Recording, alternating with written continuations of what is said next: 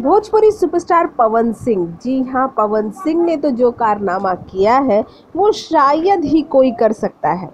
इस बार का लोकसभा चुनाव कहीं न कहीं भोजपुरिया स्टार्स के लिए सबसे बड़ा मायने था। जिस तरह अपनी मौजूदगी इस साल के लोकसभा चुनाव में दर्ज कराई है, इससे पहले इतनी तवज्जो भोजपुरिया स्टार्स को कभी किसी लोकसभा चुनाव में नहीं दी गई। जी हाँ शायद मोदी सरकार ने इनकी लोकप्रियता को भाप लिया था और इसको अच्छी तरह से भुनाया गया है। फिर बात अगर बिहार की की जाए और पवन सिंह के योगदान को न गिना जाए, ये तो उनके साथ बहुत बड़ी नाइंसाफ़ी होगी। तभी तो पवन सिंह का हर जगह सम्मान हो रहा है।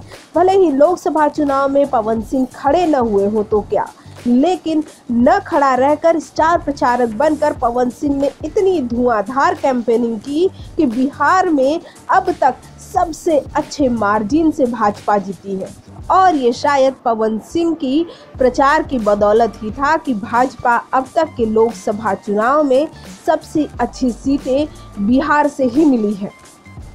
और पवन सिंह के इसी योगदान को ध्यान में रखते हुए पवन सिंह को सम्मानित भी किया जा रहा है। हर जगह से उन्हें बधाई के लिए संदेश आ रहे हैं और हो सकता है कि शपथ ग्रहण समारोह में पवन सिंह को भी एक गेस्ट के तौर पर बुलाया जाए, क्योंकि मोदी सरकार ये जानती है कि आगे किसको किस तरह यूज़ करना है। और अब मोदी सरकार और अमित शाह ने कहीं ना कहीं ये जान लिया है कि इन भोजपुरिया स्टार्स की ताकत क्या है? भोजपुरी जगत की हॉट और मसालेदार गॉसिप के लिए हमें सब्सक्राइब करना बिल्कुल न भूलिए।